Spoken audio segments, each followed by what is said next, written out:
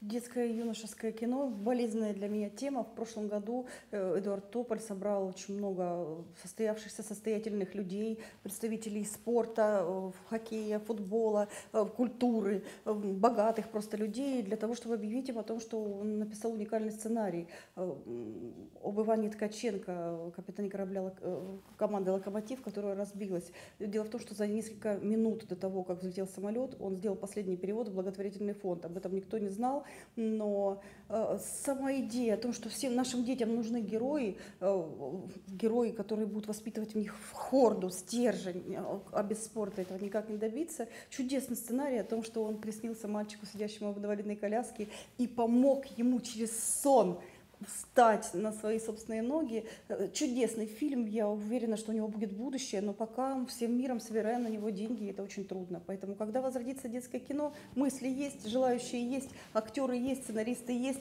снимать есть кому, герои есть. Сейчас всем миром нужно найти денег для того, чтобы снять этот чудесный фильм.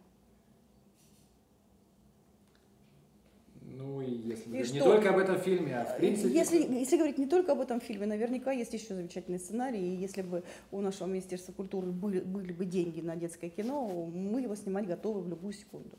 Деньги, все упирается в деньги, к сожалению.